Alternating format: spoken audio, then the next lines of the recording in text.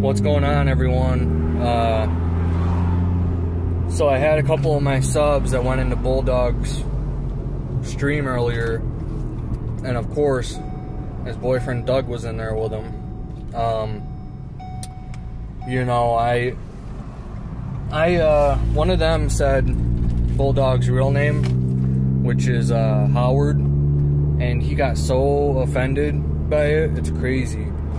I don't even think anyone on YouTube knew knew what his uh, his na- real name was, besides his friends, you know.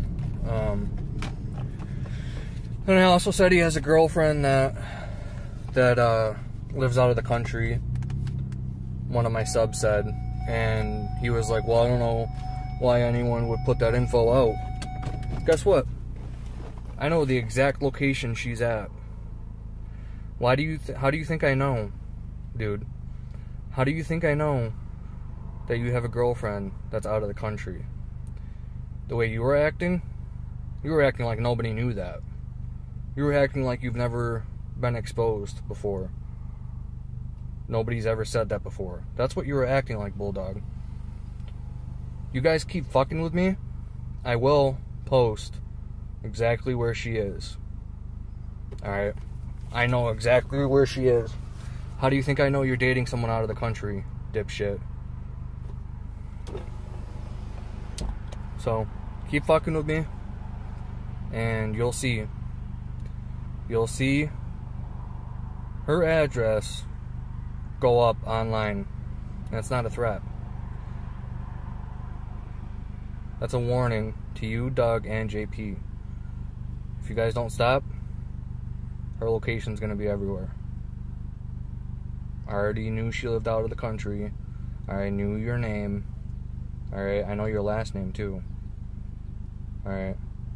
I know a lot of stuff about you, dude.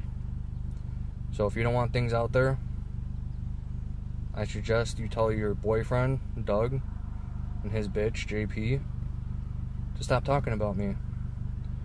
Because if they don't, I won't stop. Your choice. So, I found out Bulldog Howard is behind the fake accounts that are impersonating me. Yes, his real name's Howard, first off. And I also know he works at Stanford University in California as a security guard. Okay, that's where he works. And then I also know that his son's name is Scott. Okay? And I know where his girlfriend lives.